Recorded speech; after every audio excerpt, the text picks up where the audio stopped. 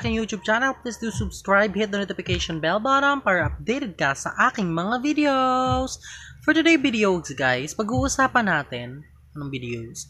For today video guys, pag-uusapan natin is, um, I mean, tuturuan ko kayo kung paano magluto ng um, lumpiang Shanghai. Pero sardinas yung ano niya.